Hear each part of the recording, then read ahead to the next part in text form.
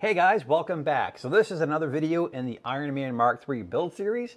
And this time we're talking filament. And this is gonna be a little more technical than the other videos, but stay with me. I think you're gonna learn a lot. So as you can see here, this big stack of filament, and there's way more off camera, came from Polymaker. Uh, they had a sponsorship form you could fill out, and they granted my wish. I'm certain I'm gonna need way more than what I received, but that's okay. We'll cross that bridge when we get there. So we're going to be talking about filament calibration and calibrating your printer in general too. A couple reasons why that's important is, well, we want dimensional accuracy. We want to make sure that if we're asking the printer to print these big giant pieces and we have to put them all together, we want to make sure everything fits together. So we're going to be learning how to do that. Um, also, when you do these small calibration prints, uh, it's much cheaper to fail at this level versus the much bigger level. Uh, and then the other thing too is, you know, you also are going to get stronger 3D prints because you're going to rule out the extrusion issues. If you're under extruding, you're going to have prints that feel like styrofoam, or if you're over extruding, you're going to have a big blobby mess of lines, and it's just not going to be a whole lot of fun to post process. So that said, we have a lot to talk about. I'm looking forward to showing you how this all works. Are you ready? Let's do this.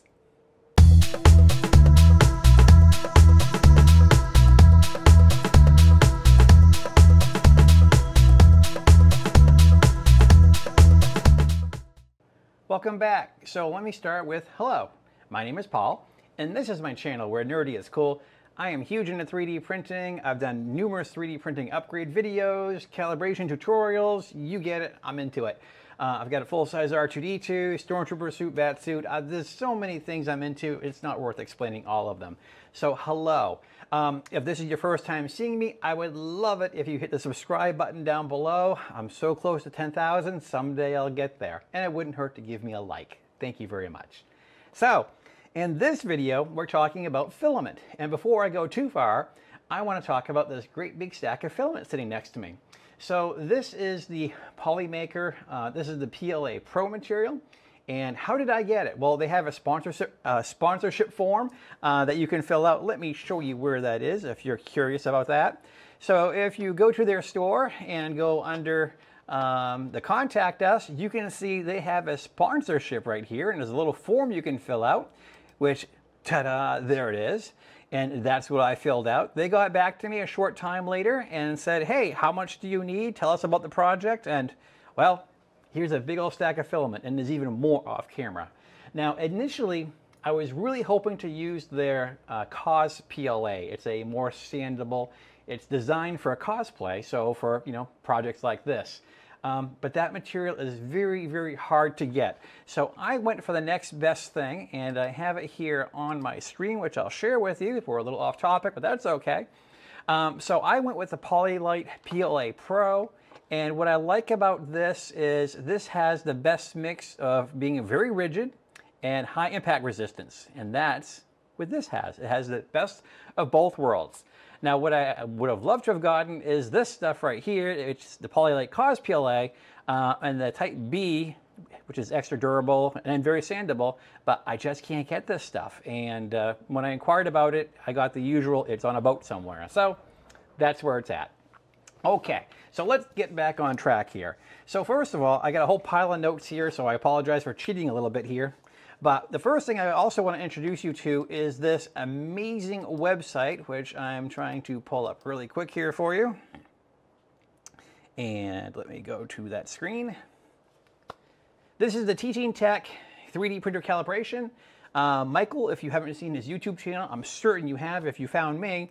He does some amazing uh, tutorials and reviews and things like that.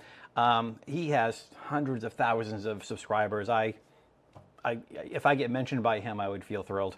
But anyway, uh, so he has gone through and not only made videos, but he's given introductions across the top here on every step of the way of all the things that you would want to do to properly calibrate your 3D printer, but most importantly, what we're gonna cover is calibrating your material. That's super important for what we're looking to do. So that's one of the things I wanted to cover right away. Now, before we get too carried away about how do we do all this stuff, one of the important things is gonna be is drying your material. A lot of people raise their nose or snub me if I mention, you know, drying PLA, but you don't know what's in the secret sauce of what they're making. So it another thing you can do is I know Polymaker has it listed on their technical data sheets and their safety data sheets is that drawing is not required if coming fresh out of the package. So that's fine. Now other vendors may have different information, so check those out. The reason I mention this is that a lot of filaments as they're produced in the production line, they go through a water tank and that's how they cool the filament and then spool it up and, and ship it out. Now some some use you know air blasting and other methods to dry that material before it's shipped out, or quite I mean it could be as simple as you receive material that doesn't look like it's vacuum packed and who knows how long it sat sat on the shelf somewhere. So anyway, to rule out a lot of the issues when you're calibrating your 3D prints and your filament, if it's dry, you're going to get your best results. Now, as far as filament dryers, what's the best, what to use, that's, that's a whole other can of worms. I'm not gonna go there right now because that's an entire video all by itself. So, moving on, let's look at some of the first steps on our screen here as far as what we're gonna be doing. So one of the first things he mentions is a frame check. Some of these things I'm just gonna skim through because they're very self-explanatory, but the most important thing I feel here is what's called PID Auto Tune, and he gives all the information in G code that you're going to need to make this work. Now, what does this mean? What does PID Auto Tune mean? What it does is on the hot end and also on the bed, what it does is it calibrates the firmware so that if you tell the firmware that, okay, I want you to calibrate my hot end for 205 degrees Celsius, it's going to do that it's going to give you the information and the settings with what he's given you. You can automatically input that into your command line. But in the world of 3D printing, what that means is as you're watching your hot end heat up, it's going to do a better job of getting there and staying there very stable. So that's what's important right there. And it's the same story with the bed as well too. If you give it the command line for, hey, I want to do the PID on the bed heater, I want that to stay at, for example, 60 degrees Celsius, which is very common for PLA that's what you want. What you don't want is you don't want to have your printer, you know, constantly overshooting and undershooting the temperature. You want it to kind of stay right there, you know, nice flat line. So that's what PID Auto Tune will do. One of the next things you want to do is this is the extruder E-steps. So essentially what this does is the firmware tells the extruder how many times to turn to extrude X amount of material. So what we're trying to do is we're trying to make sure, and we're testing it, we're saying, okay, send me 120 millimeters of, of material and we're going to measure it from the top and see how much really goes through. And then we're going to adjust, you know, plus or minus to get that as accurate as possible because right now we're just calibrating the firmware to make sure that it's as accurate as possible. Now there's a couple great tutorials for this. Obviously we're going to be talking about teaching tech. One of the first ones I used was Matt's blog, uh, Matt's hub rather. And again, this came back out in 2017, so this goes back a ways. Now, this is very wordy but very detailed and tells you everything you need to know. Now, for those of us that have shorter attention spans, uh, fortunately, Michael at Teaching Tech has also covered this under Extruder E-Steps and goes through it step by step and breaks it up nicely, so it's a little bit easier to understand. Uh, and we'll talk about right here is if you don't have a metric uh, ruler, one of the great things I'd suggest getting is a caliper, and we'll talk a little bit more about these as we get into other settings, but don't go cheap on your tools. Get something that's going to be accurate and good. Uh, you know, it's one of those things that we, we all kind of cringe a little when we spend that much for tools, but in, in hindsight, it, it's really great. So don't, don't go cheap on your tools because they'll really help you out. Okay, next he talks about bed leveling and first layer, I believe he calls it over here. And this is something that I think a lot of people uh, kind of don't pay attention to here. Uh, I've seen a lot of uh, posts on the Facebook groups and elsewhere where people really have a lot of problem with that first layer. And a couple of graphics like this one on the bottom really, you know, explain it very nicely. So a couple of sidebars that I will mention is that um, couple things. Um, if you're using the included surface, if you have a glass bed or something like that, make sure it is super clean. Do it with dun dun dun isopropyl alcohol and also avoid paper towels or anything like that. Uh, I use a lot of these microfiber cloths because they don't leave any lint behind. So that's one way you could do it. Another way you could do it, and again, these are only usually 70%, uh, but alcohol uh, prep pads uh, come in very handy too. Ah, making a mess. The other thing uh, that's worth mentioning, and I'll talk about Wham Bam because I love their surfaces, is that if you're not happy with the surface you have, there's a couple options you can do. Uh, Wham Bam uh, uses a nice reflection, PEX, and they also have the magnetic bed, and this is spring steel, so when it's time for your print to come off, it's pretty easy to flex this and get it off of there. This additional surface, uh, this has that uh, rough coarse finish. So if you want to have uh, that pattern on the bottom of your print, um, you tend to do a little bit more squish on these I found and cleaning these can be a little bit more challenging because uh, they're a little coarser. But if you're not happy with the way your print is sticking down or if you're having first layer issues, first step would be make sure it's clean. Um, another option would be if you're using these beds, also make sure they're clean. With the Wham Bams, they include steel wool, so usually every couple prints you want to rough it up a little, clean it with the IPA, and you're good to go. The other thing you could do is adhesion promoter, and for a bald guy like me, it's fun to show this stuff off. Aquanet, polyvinyl alcohol, or glue stick. So depending on the material you're using, on PLA, I don't think you're going to need these, but on other materials, for example, PETG, ABS, and others, um, these are uh, some other tools of the trade that you may be looking to use. Okay, so you've already gone through, you've made sure the first, the surface rather, is going to be nice and clean. You're going to do the first layer as he suggests. Now, if you have a 3D printer that has a proximity sensor or a BL Touch or something, you have the ability to do what's called baby stepping, so you can fine tune that first layer because you want to make sure you're not too close, you want to make sure you're not too high, you want to be right there in the sweet spot because we want that print to stick. Okay, this next one trips up a lot of people and it is the slicer flow and it's very important and he has a, again, he lays it out very well.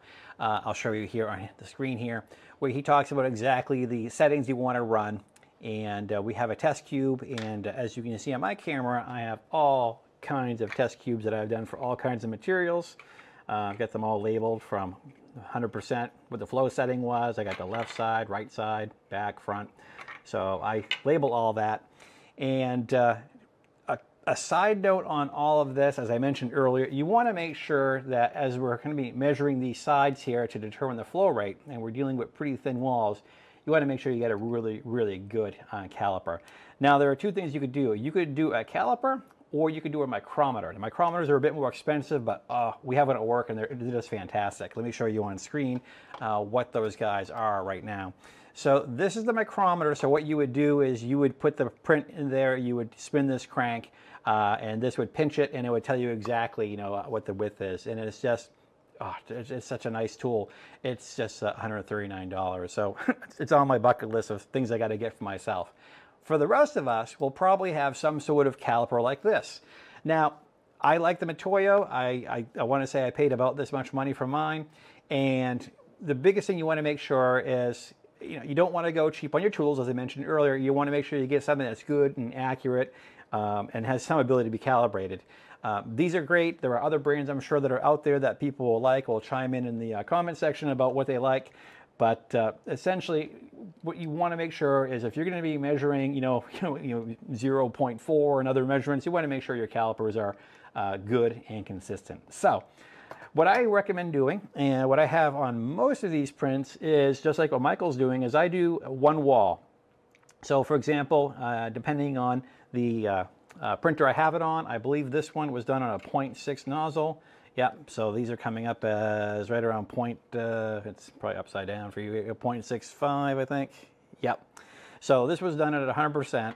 So going through Michael's tutorial, uh, what you would do would you'd go through and adjust the flow. And if you're wondering uh, what is the flow and where would I do that, let's go back to the other monitor here. And right here in Cura, you would find this under material and flow, and this is the variable that you would be changing. Um, I find with a lot of the materials on my machines, this number tends to be less than 100 actually, um, especially once I do the single wall prints. Uh, I find that a lot of my stuff winds up being between 92 and 95%. This is interesting uh, that very few of them show up as 100. I have had some that are perfect right off, right off the bat, but for the most part, I, have found that I've had to uh, dial back the flow uh, just a tad bit.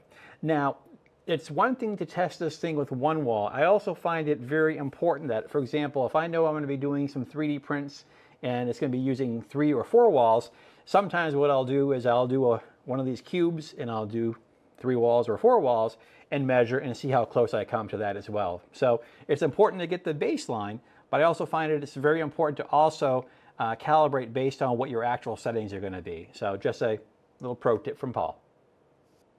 Okay, so one of the most famous ones that everyone knows of and probably cringes about, and I'm going to turn on the other camera here, uh, is the temperature towers because we've all seen these and I, I understand the complaints because sometimes people do them and they're like, every layer looks the same. What am I supposed to do? Or you may come up with ones like this and you're just, just not sure because what happens, I think, is people get locked into, oh, let me get the uh, focus to be a little bit happier here. But uh, sometimes people will get kind of transfixed on the bridging. And really, you're not going by how well it bridges. You know, just because, you know, this one came out good uh, or better than the rest, you know, that doesn't mean that's the right temperature. What you also want to do is you want to check out the details. You want to look at the sides, you want to look at the corners, see how those came out. And I can show you here and some other ones here uh, where certain areas, you know, could have come out better than others. So that's one thing to be looking out for. Like all these guys, yeah, like this one did really good up here based on the bridging. But if we look at the corners and the sides, and if we look at some of these details, you know, some of them did a little bit better than others. So don't get caught in the trap where it's only, you know, that, that bridging that matters. The other thing I'm going to point out, I'm going to go back to my big camera here, is if you take these and hold them to the light, sometimes you'll see little hairs, okay? Now, when people see hairs or string, the first thing they think is retraction, but if your temperature isn't qu quite quite right, you can also have that going on too. And as I hold this one to the light, and it's gonna be hard to show on camera, but there are a little bit of hairs on the bottom, but as we go a little bit cooler, they all go away. So be aware of that too. Now, there's a couple ways you can do this. Now, Michael's page right here on temperature tuning goes through and what's really cool, what he's changed here over the last year or two has been right here. This is for a 0.4 nozzle, 0.2 layer height, and this is what it's going to do to create a tower, and you're going to set the different temperature ranges. Now, what about if you have a 0.6 nozzle or a 0.8 nozzle or a 1 point, you know, 1 millimeter nozzle? You know, how in the world are you going to calibrate that? Well, he actually already has in here a couple pre-configured profiles for bigger nozzles than 0.4 or even smaller. So don't feel like, you know, this is only going to do, you know, one particular nozzle size. So he's, he's got that figured out for you. So that's really, really cool that he's got that all done. The other thing I wanted to show is in Cura, if you're looking for something else as far as, you know, how do I create these temperature towers, uh, and I don't want to use, or if I've, if I've done Michael's and I'm not happy the way those came out, uh, the ones I showed you, these came out of a plugin, and this is, let me go under extensions, it's called Auto Towers, and you can get it through the marketplace. And right through here, temperature tower PLA. Boom, there it is. And it's to go from 230 to 180. Now, I've found on a couple materials that I've done this with, uh, sometimes it'll stop creating a temperature tower at a certain temperature, which is okay. So don't panic if that happens to you. So once this is done and on screen, all you have to do is slice. The automatic uh, mode is already there for you. You just slice it and you're set to go. Boom, done. And this will take one hour, 18 minutes. And again, we're only talking nine grams of material. So for those of you that think the calibration is a waste of material, no, no. I mean, we're, we're talking like close to nothing. So a couple ways you can do this and again, don't get hooked into just looking at the bridging. Look all around, hold it to the light, and uh, find out what that sweet spot is. Okay, next up is retraction. And again, uh, this is going to be determining exactly how much your material retracts uh, to give you a clean um, print. Uh, you don't want to have those strings or hairs. Uh, what I'll show you here on his page is he has a whole um, explanation of how it all works, you have retraction distance, retraction speed. Some people have extra restart. Um, I'm a fan of the Z-hop. Uh, I like the idea that uh, it will Z-hop at retracting, meaning it's going to move the nozzle up a little bit as it goes and starts the next layer. Um, but again, through here, he's got it all configured based on whatever your nozzle size is. Uh, and, and then you would fill out, basically, Now here's where it's interesting because if you have a direct drive, chances are your retraction distance is going to be less than one millimeter. So uh, as a matter of fact, uh, depending on uh, the particular hot end you have, for example, I have a lot of the uh, slice uh, hot ends and what they usually recommend with the uh, slice nozzles, especially paired with the Bondtech direct drive, generally the retraction distance is going to be the diameter of the nozzle, meaning if you have a 0.4 nozzle on there, your retraction distance is probably going to be 0.4, but calibrate to be sure based on the material. So what you would do is, for example, if I wanted to test that, I would go 0.4, and then I might go for the next layer, I might go, you know, 0.5 and work my way up. Uh, my retraction speed, you'll want to double check this in your settings or the profile of your printer. I know, uh, for example, my machines have a Bondtech extruder, and the Bondtech extruder is running at 35 millimeters a second. So I would change all these guys to 35.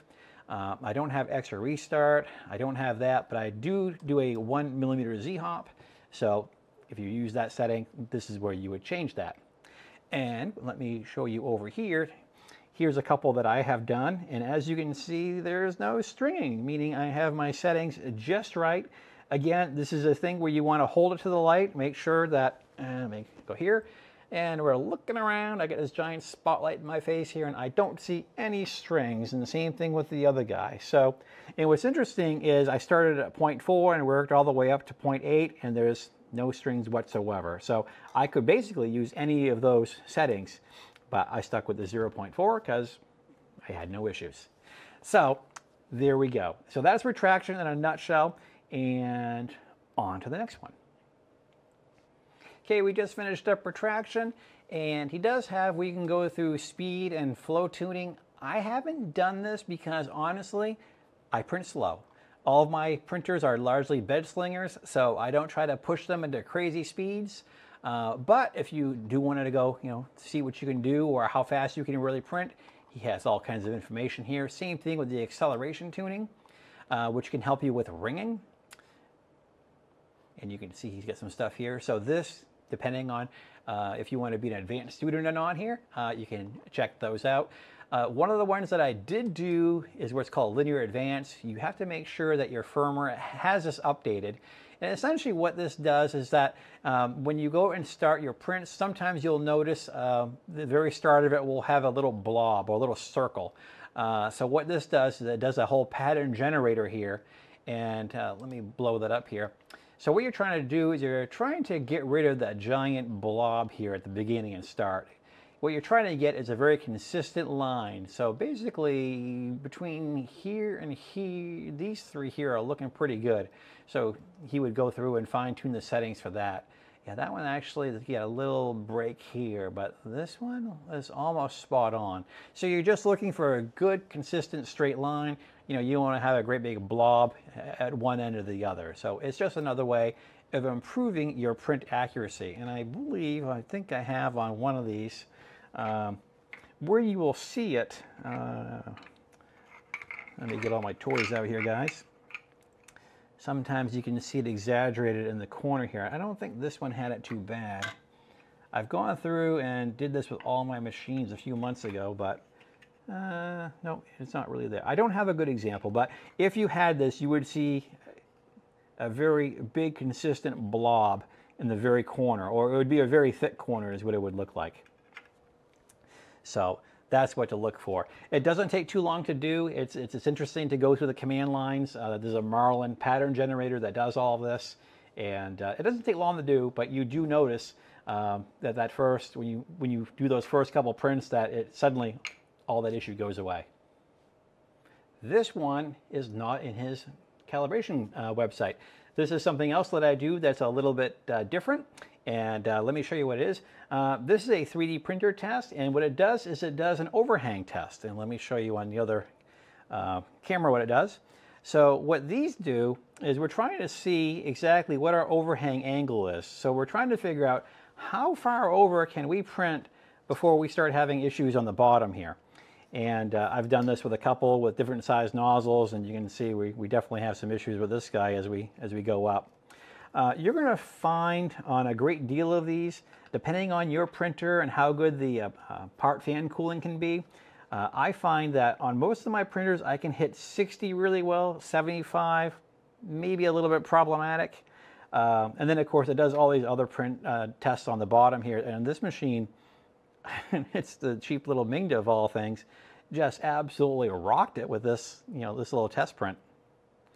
So I will show you on Thingiverse where this is right now on the second monitor. Uh, so this is the overhang test, and uh, this is the little mini all-in-one. I will put links to these guys in the uh, video description so you can download them and try them. But uh, yeah, it's kind of interesting to see um, how, how, well, after you've done all these calibrations, um, to do these things. The other thing I like about this particular print is what I like to do, and we'll do a separate video on uh, figuring out tree supports and other support material.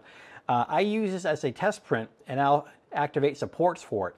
And the hard part is trying to find out what the exact Z distance, what the sweet spot is as far as how far your support is from the actual model um, and how easy it comes off. But that's, uh, again, that's a, a topic for a new video. But yeah, both of these guys are called overhang tests. Uh, this is the uh, mini overhang test, and uh, this one is the all-in-one 3D printer test.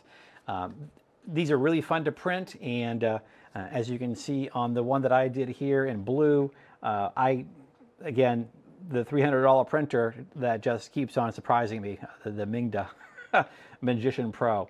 So then the very bottom layer has the little combi testing on the bottom. So that is another one that you can add to your list of things to do to try to make sure everything is as dialed in as possible before you go jumping into the big prints. Okay, that's it for this time. I've talked enough about calibration to keep you busy for a while. Uh, I hope you find this information very useful though and you can understand why we go through all these steps before we invest the time and materials and money and electricity uh, into these larger 3D prints. So there's a reason. And that's it for this time. If you want to see what I'm working on, check me out on social media. I'm on Instagram, Facebook, and of course Twitter. And that's it. So thanks for watching. Be sure to like and subscribe. And please remember, please print safe.